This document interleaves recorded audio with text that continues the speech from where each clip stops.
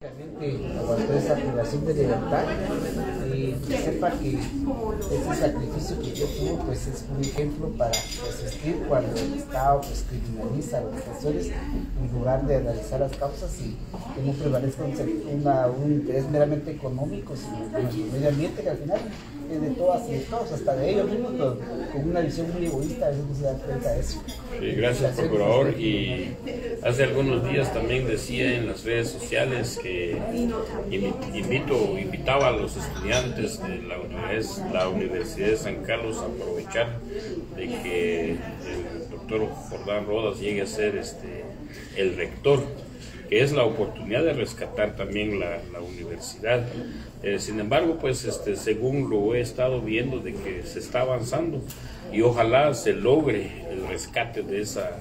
de esa universidad. Muchas gracias Bernardo, solo aclaro porque si no, me siento todavía no soy doctor, estoy estudiando con tantos doctorados patitos que hay por ahí. Entonces mejor no aclaro, tengo una maestría, todos los títulos a la larga